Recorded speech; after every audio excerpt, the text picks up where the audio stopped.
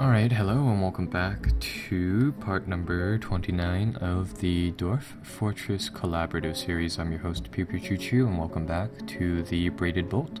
So, in the last episode, we ran into a siege and a forgotten beast lying uh, above ground and below ground, respectively. Um, now that uh well I, I essentially continued the game where we had uh where we had saved off and it looks like the siege is actually starting to pull back. Um, I haven't really played it past here but what I can show you guys is that um, currently there's only actually four or three goblins still present on the map. Um, these invaders appear to be running if we actually zoom on them they are where are they where are they? Yeah they're on the edges of the map here and they appear to be um, yeah making their way off the map. See this guy right here? He yeah he's going to get yeah he's uh they're starting to bail after losing two of their um two of their people. Now it's actually down to one guy uh the goblin mace man and he is the siege's leader and he is well he's he's on our roof apparently and you know, this guy is actually. How did he get up here? Is uh, what I'm wondering right now. And um, no, now he's dead. But uh, but yeah, he he managed to get up here. And this might be because of uh, I see a giant bat being dead here. Now, some of these uh, we were we were rather lucky in that uh, is there a giant bat up here dead yeah there is actually um, we were rather lucky we're yeah we were you know, I feel like I'm repeating ourselves, but we were lucky in the fact that we uh, we didn't encounter any trolls or anything like that, things that could smash through the walls. Because um, if things could smash through the the constructed things, the guard tower probably would have been destroyed. And uh, with the demise of the guard tower, you actually get a little side entrance into the back of the fortress like that. So um, yeah, we were we were definitely lucky in that the first siege didn't see any trolls or anything like that. But um, what you what you can expect is that sometimes the dwarves or the uh, the goblins they bring um, these mounts for themselves, and these mounts can be like typical mounts like horses and stuff like that. But in this event, it looks like the uh, the Goblin Maceman uh, person he was actually riding on top of a giant bat um, when he showed up. So yeah, that was uh, that was something to to see. And this guy, this giant bat, looks like it brought him to the top of the guard's tower because we didn't seal the door up here. And it looks like uh, one of our dwarves did manage to handle him, brawl him down, and get rid of him. So that is rather nice. And now the map is actually clear of, uh, rather the ups, the top of the map here is clear out of uh, invaders. So what we're going to do is that we've actually ran out of trees to put into the smelter. So we're going to designate a large area to, uh, to cut down here. Grab this. Are we on the run Z level or something? Or is my keyboard broken?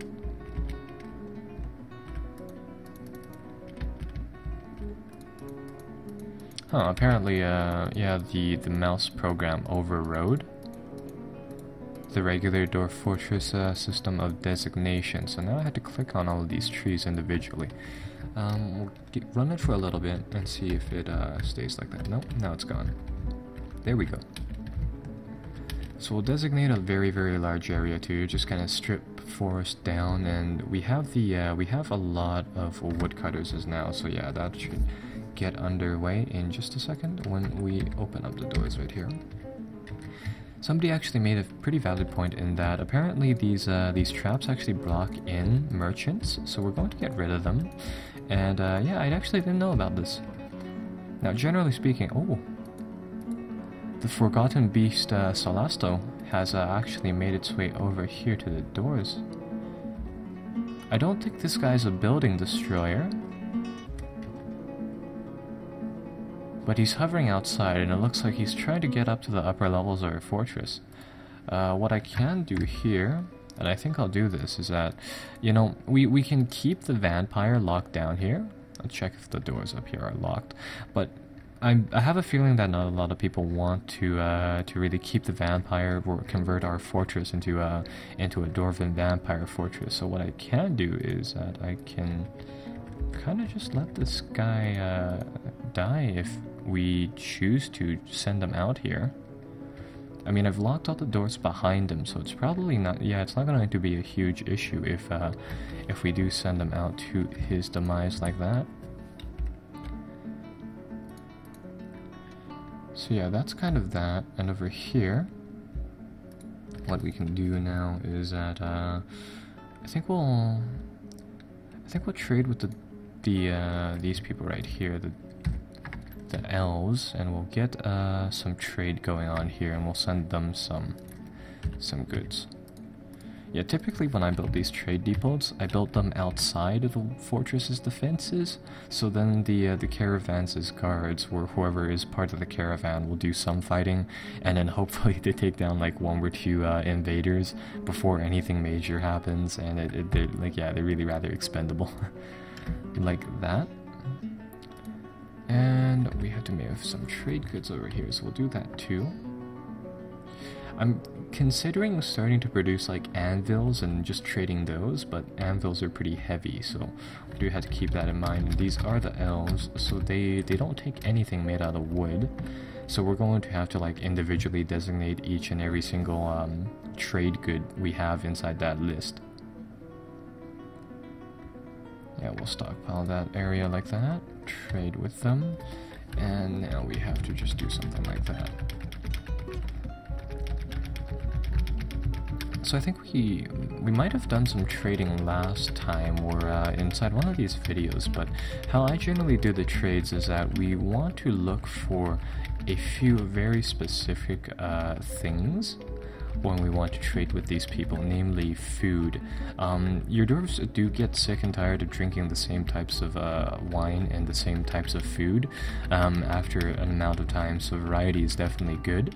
And um, the, the added bonus of that is that sometimes when do when dwarves have fey moods, they may decide that they want to uh, grab very very um, odd items, such as like uh, cave fish bones or something like that, and it's just like you know where where the hell am I gonna find those, right? And um, just to kind of alleviate the chance of uh, having one of your doors go berserk simply because you don't have um, something like that, like you know spider web silk or yeah, just really uh, really situational stuff like that um, what we can do here is that we can trade for those goods. But what I'm actually going to do here is that I see that the elven merchants actually carry a full stockpile of wood atop their their two elephant uh, things that they have here. So we're actually going to take all of their wood, all of their ropes here, none of their trade goods.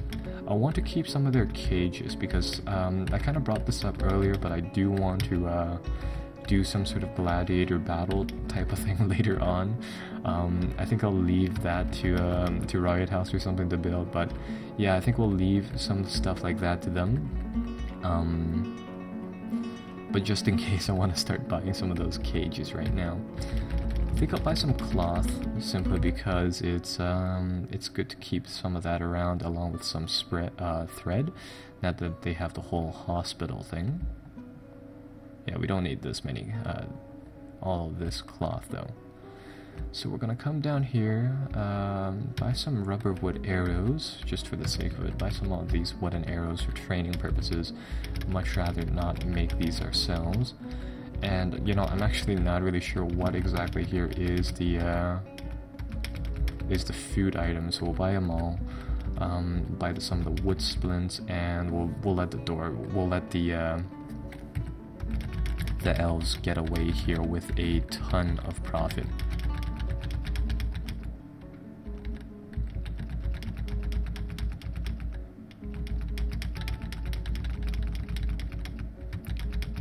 So I'm just going to remove like uh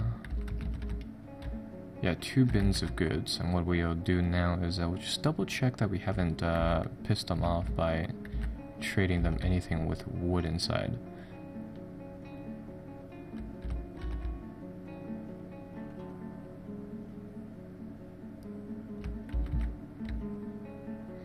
That seems good.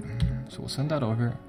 He says, ah, wonderful, thank you for your business. And we, uh, we essentially end trade like that, moved goods from this area, so we'll bring back the bins, and that can essentially con concludes trading with them right there. And uh, for fort defense now, we do have to do something about fort defense. And what I think I'll do is that we have a guards tower right here. And what I can do is that I can carve out these ramps here and make this area kind of a block blocked out block outed area. And over here what we can do is uh, we can place down some do uh, doors for us here. Build a well as well. And yeah, nowadays, uh, you generally, like, everybody starts out with, like, the stuff to build a well. All you really need to do is build the blocks. Um, when I played it, like, the wells were sort of a secondary thing, and you really didn't pick them up um, unless you you kind of felt like you needed one. Uh, but for now, what we're going to actually do is that we're going to use this well more or less as a morale booster than, uh, than anything what I'm going to do here is that I'm actually going to get rid of the uh, the majority of the ramps here. I think I'll leave, uh, yeah, I think I'll leave two. And my reasoning for that is that sometimes dwarves get themselves covered with a lot of icky uh, stuff. And when they do get covered with a lot of icky stuff, they, they have the tendency... Oh, actually, we can get rid of one more they have the tendency of um, contaminating the water with uh, like blood of various different um, things. So yeah, we're going to do something like that. We're going to build some levers now. And we will build one here. And we'll build one here. What I plan on doing is that I want to, uh, yeah, I don't want to link this lever. Nope, don't want to remove it. I just don't want to link that lever to, um, to the floodgate up here anymore simply because it's it's a little bit of a risk and I think um and I think this looks a little better too having levers on both sides so we'll do something like that and then at this point as soon as the uh, the architecture gets done we'll be able to build ourselves a functioning well.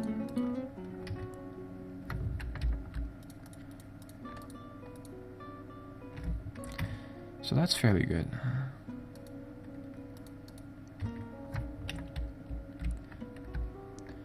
Now, what are our dwarves uh, doing underneath here? They still have some area to carve out, and our doors are still digging, so we'll let them do that. But um, to make a sec, I want to make a secondary uh, little place to do tree farming now. So I think we'll start off here.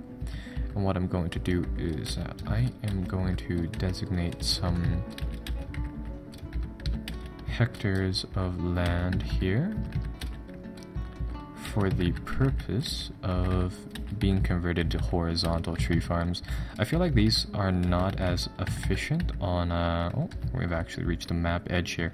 I feel like these horizontal ones aren't as efficient as having like a, like an artificial tree farm in your base. But I guess they can work, so we're going to go with a, I think a six plot setup. I don't, I want to avoid the water here, but it looks like, uh, it looks like we're going to have to go into that slightly. So we'll do something like that, and then we'll just kind of connect the places like that. You know what, make this make this look all nice and pretty, so we'll connect it like that, and that'll give us um, roughly five and a half plots, more, yeah, more than like, more than that. This area will slightly um, go into this area, but it's no real big deal. So that's good. And there appears to be a single tile uh, little thing right here. So we'll, uh, well, we'll leave that as it is, and digging in soil is much faster than digging inside the, um, the earth down here, so they should be able to build that fairly fast. Now, as for the mechanists, I want them to connect that to that, and this to this. So there, they will build two, uh, two little things like that, which will allow us to control how much water gets in here. Now this well we can then designate as a little bit of a meeting hall area and I want to only go that far as to designating the rooms simply because I don't want the dwarfs getting anywhere close to these two um, water spouts if you will. And my reasoning for that is because if they do go near them, I'm afraid that because you know we've just gone through a siege, somebody here is going to be co coated with uh with um, some sort of blood, and you can contaminate the wells if uh, you can contaminate the water supply, right? If you do have some nasty stuff like that inside there, and yeah, I just don't want to uh, risk something like that.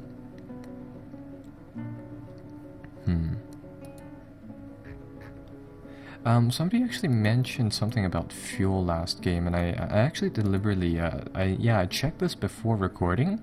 Um, somebody said that apparently wood, or rather wood furnaces generate four units of fuel, uh, rather than one from burning uh, wood into charcoal here. And I've actually checked up on the uh, the DF 2012 fuel page, and it's uh, well, it says here it's about the current version of DF, and I've actually specifically searched up charcoal too and that actually just redirects me to this page. So um, you'll see down here inside coke. It'll actually say that coke um, created from bituminous coal produces 9 units and lignite produces 4 units.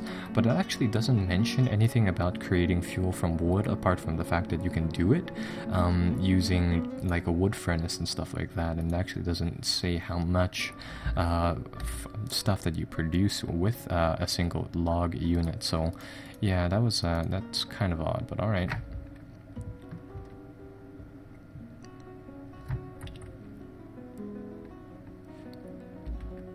Now, miners should be busy doing their own little thing. So with that said, we should have, uh, yeah, we should have adequate time now to start off, um, start this thing off. So what we're going to do is that we are going to open up the, uh, the little fountain here, and hopefully we'll be able to get this running in just a little bit. And in the meantime, um, you know, we, we have a pile of uh, corpses, so we're going to uh, open up some of the burial reserves down here for them to uh, come down here. Because I just remembered that uh, we did lose a few dwarves here. Um, yeah, we took down Goblin Maceman and his trusty giant bat in two last years, and in the process, we lost a few fishery workers, a ranger, and a mechanic. Now, I'm not sure if all of these are uh, are losses from this siege. They may have been, they may not have been, um, but the point is that we've lost those people. So, um, yeah. Now, this wooden pull lever, we will, or mudstone lever, will pull and that's going to open up the floodgates for our waterfalls right here. This guy should really be uh, standing inside the designated zone. And that's going to put water down here, and what it's going to do is that you'll see here that some mist is being generated, and this mist gives the dwarves a happy, happy uh, type of mood modifier. And it looks like, yeah, the well is now active. Mist is coming down upon our doors, and I hope that all of these doors are clean so that there's no blood getting in down here. So yeah, that's going to let that go, and um, now that we have uh, accumulated some water, we're going to open up the second floodgate. So now this uh, water is going to come down here and it's hopefully going to flood all of these levels. It may not reach it, but you know what? That's no big deal. And as it does that, uh, it'll um, hopefully drown, drain into down here, where then it will uh, either evaporate or stay there forever. So yeah, that's kind of that. Apparently a Dwarven baby has drowned. Yeah, somebody threw a baby down here. Great. First day opening up the pool and people are already drowning and blood has come apart. So yeah, really, really odd. Um, but the good thing about this well is that I, you know, personally, because of the uh, because of how how much food we have here, I, I, really don't think we'll be using this well as a well in the sense that we gain drinking uh, water from it. We're probably going to be uh, using this place as a bit of a, let me see, preferences.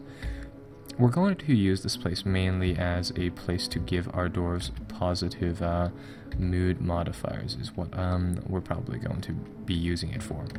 So what's going to happen is that dwarves really really like waterfalls and that when they generate mist they give these dwarves a positive um, mood outlet and I'll see if I can remember where we actually see that. There we go.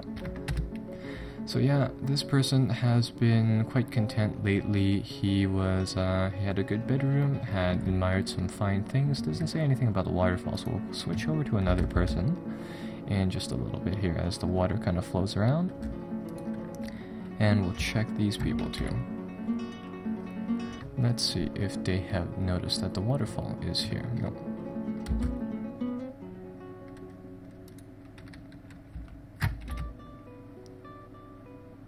This person actually had a lot of stuff happening over here.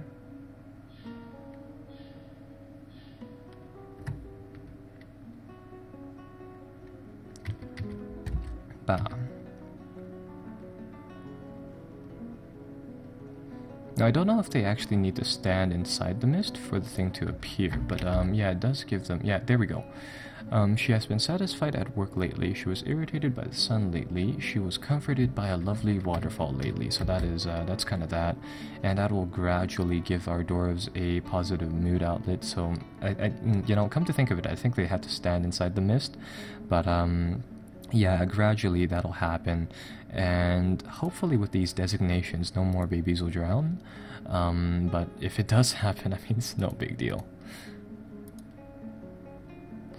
So yeah, that will, uh, well, that's the waterfall level. Down here now, yeah, you have some, uh, some blood coming down into the water, but it's well away from the well, from the, uh, from the well actually, so it's no big issue.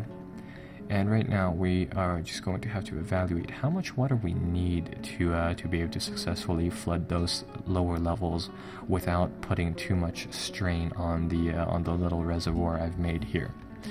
Um, speaking of that, we are probably digging out this area right now. Yes, we are. Lots of dwarves are working on that. So that is uh, that is very good, and I've already see I already see one young fungi wood growing, so that is good.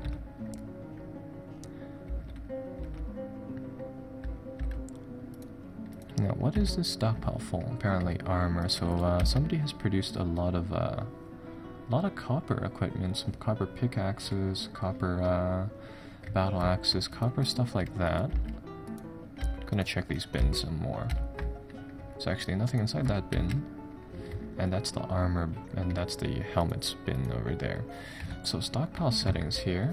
Let's check uh, what can actually be stored inside this area. So yeah, we can store armor, additional options. Yeah, store armor and weapons and traps components. Okay, so that's good.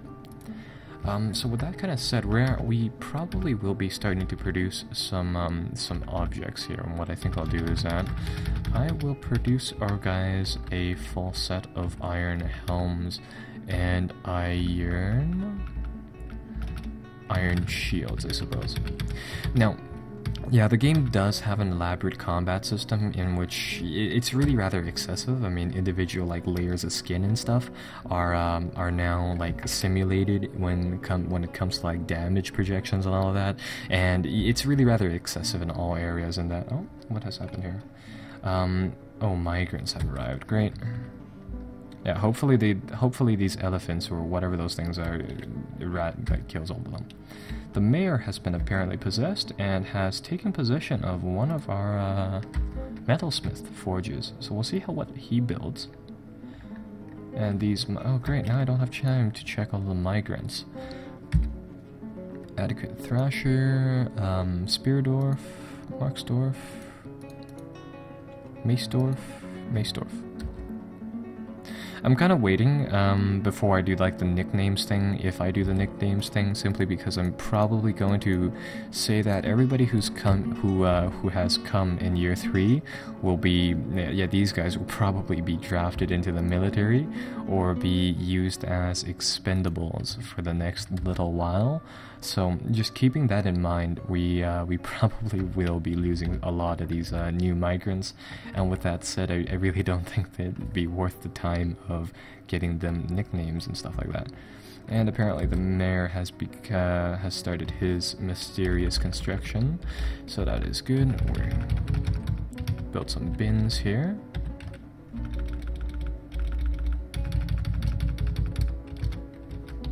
And we'll also build some more jugs and pots. And that will, uh, yeah, that'll conclude that. How is the flooding going down now? Um, there's going to be three more levels before it completely floods out. And I feel like that's going to be enough uh, water. So I think we will actually shut down the, uh, the waterfall for now, and we'll uh, we'll really see how much drains down there. Because my plan really isn't to keep the well occup- like uh, working the waterfall 24/7. That's more or less meant to be a gradual thing. And later on, if we want, we can put a pressure plate up here, which goes off when the water goes above the uh, the third mark, and then when we do that, it can kind of have a self-regulating waterfall where it only lets a gradual amount of water enter and leave. So uh, yeah, we can also do that too. That's also another option. Still don't know how the baby got inside the water supply, but you know what? You know, first day, pool opens, somebody pooped in it already. Oh well. and let's see. So this level is um yeah, there's a lot of ones and a lot of twos, and if you if you haven't kind of figured it out by now, the water can reach a maximum level of seven. The minimum is one, and it'll start. Uh, ooh, made a brown bronze cage apparently and um, it'll actually evaporate when it's at um, at level one, so the water will just kind of disappear on its own. Um, on all other levels, I believe it will actually just kind of stay around. So we do have to watch for that. It would have been better if we were if we uh, cleared out all of this area of the rocks, but you know what? No big deal. We can always do that afterwards and reflood the area. So yeah, these guys are actually working on taking out the rocks, but they are going to do that very, very slowly. And how is work over here? Decent, but uh, not perfect. See how many other people have died, apparently. I see some other guy, some sort of a farm shop handler has died. Can we, uh, can we zoom onto him? No. Probably met its, his end somewhere. Out inside the wilderness. Or maybe he drowned. Well, they got rid of the baby, so that's good. Well, that's the gist of the well area. We can, yeah, we can wait until the uh, the water goes down a little more, and then we can flood it again, and then we can wait until it goes down a little more and flood it again. But I think I will put some sort of automated plate system up here, so that it gradually throttles the water in just a little bit. Now that, uh, well, I see that uh, I saw that inside one of the um, one of the mood outlets, it showed that we actually do have a legendary dining hall. So that's going to keep our doors happy. The waterfall is going to help occasionally, um, every now and then. And the kitchen should be actually constantly making easy meals. So we'll switch that back on. And for now, I think everything will be good. Uh, let's see what we have produced so far in terms of metal goods, if we have produced any produced a lot of those metal shields, but we haven't produced any of those, um, yeah, because we were interrupted. Those iron helms, so we'll do that.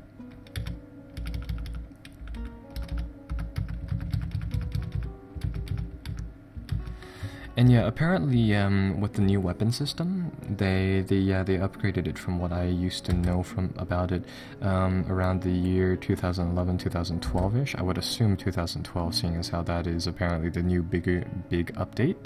Um, apparently certain materials are uh, really really good at making certain weapons such as silver making uh, silver warhammers um, i think it's due to like the the weight of the material and how available it is for silver and some other things about it but yeah um, those warhammers and their damage depends on weight and obviously if you if you have some silver which is uh, heavy and I guess fairly common to some extent, um, you can make some of those. And these guys are working and doing something and it has been almost 30 minutes so I think I'll call it a day. Uh, we have the waterfall set up now. Now it's uh, more or less just about optimizing it and soon we should be oh we have already seen some muddy shrubs and some muddy young fung fungi wood growing so that is rather nice. Maybe afterwards when we remove all of the stone um, this area can pure uh, can you know kind of really grow into a large scale uh, farming area. I think what I'll do inside the next few episodes is that I'll gradually improve this area by building a grate so that fish can't get inside very easily. Um, like yeah, when I played there were a lot of carp, and these uh, these carps were the equivalent of like sea elephants. So um, so yeah, they're kind of that. I don't think they're yeah, I don't think they're present on this map, but I still don't want any like rodents getting in to the fortress like that. So I'll try to keep them out like that. Um, I'll build a grate for sure. And I think I'll actually build some metal grates um, on the sidelines here so then we don't have any more babies falling in. So I'll see you guys then um, when we continue building the wall, continue expanding the, uh, the mining industry, and really go from there.